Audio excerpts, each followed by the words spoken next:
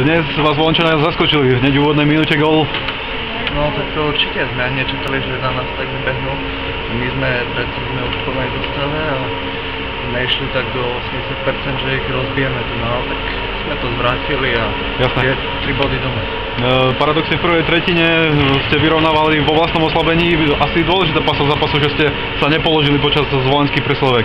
No určite a dneska tých oslaboviek bolo na našej strane dosť veľa a sme sa tomu vyhnúť a sme rádi, že tej oslabovky Mhm. mm-hmm. padol gól. Ja som pod, Je to určite plus preto. Mm, Potom postupne ste prebrali iniciatívu, nastrieľali ste góly.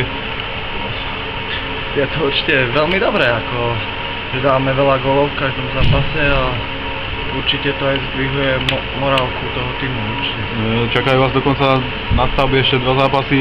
Určite spravíte všetko preto, aby ste skončili prvý. Určite všetko a s Martinom to bude asi taký. Očakávaš aj ty, že práve ten posledný zápas proti Martinu bude ten, kedy sa to rozhodne. hrajeme doma a 3 body berieme určite. Že, Si veríme. jasné, e, prvé miesto vám zaručí, že sa nestretnete hneď v prvom kole so Slovanom. To by bolo derby asi ako remeň. Bolo derby, ale sme si aj povedali, že je jedno, aký tým dostaneme, musíme vedieť vyhrať s každým, keď chceme byť majstri túto sezónu. Ale tak určite by to bolo lepšie si nechať potom na tú lopatku a prehodiť. Mhm. Tam nemajú čo robiť.